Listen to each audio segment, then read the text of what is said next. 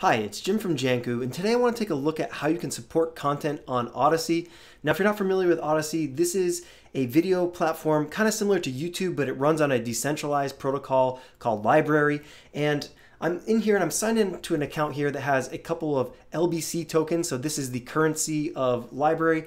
And if I come here and I look at one of these videos, so we actually have a Jantcu channel on LBRY, and now I'm not signed in as the Jantcu account, but I can come here and I can click on one of these videos and you can see here that there's a lot of different ways I can actually support content that I like. So if I come down here, the first thing I could do on the Odysee platform itself is I could come here and I could give this a like. So it has a little fire icon. So I show that I like this. I can also support this. So I can come here and I can click on the support button here. And you can see here that there's already some support. So there's 25 LBC already staked here. So there's some staked amount and there's some supported with tips. And if I come here, I can do my own support. So I'll click on support.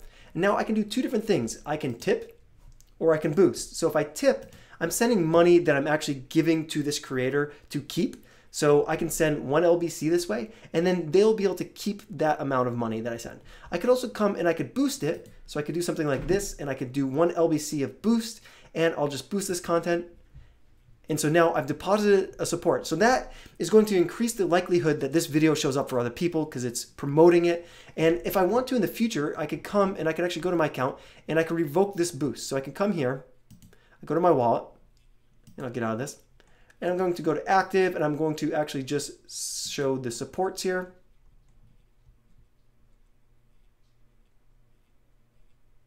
And you can see that I have this support. So it's actually still has a pending date because it hasn't gone through officially. That's why we probably still see it in my account here. But you can see that I have this support on this video here. And I could actually come here and I could just delete this if I want. So I could abandon the support.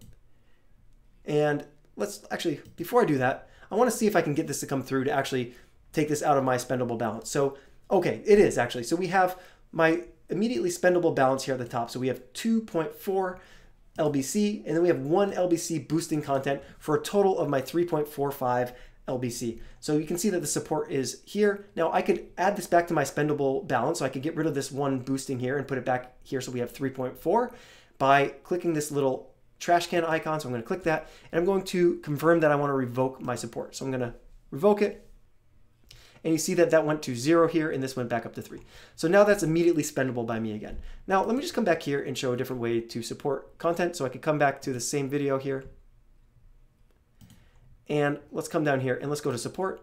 We'll go to tip and I'm going to send one credit this way.